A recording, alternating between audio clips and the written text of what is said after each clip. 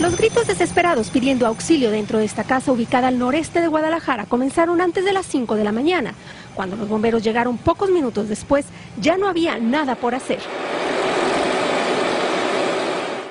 La escena con la que se toparon los rescatistas fue dantesca. Conforme iban avanzando entre las llamas de esta casa de dos pisos, encontraban más familiares sin vida dentro de las habitaciones. Encontrándose en una, en una habitación a dos personas adultas, este, ya sin vida, y en otro cuarto hay una persona adulta con, con tres menores, que aparentan ser tres, tres menores de edad.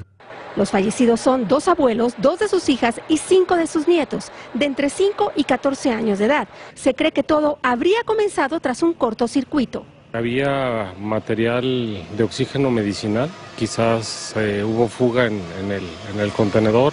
Es una, una, posibilidad y eso favorece la combustión, eh, involucrando la totalidad del, del, del recinto. Tres residentes sobrevivieron, un joven con más del 80% de su cuerpo quemado y dos adolescentes más intoxicados por humo que se salvaron al saltar por las ventanas. Tras casi una hora combatiendo las llamas, tres bomberos resultaron con quemaduras leves. A las autoridades les tomará varias semanas para determinar qué fue lo que provocó este terrible incendio.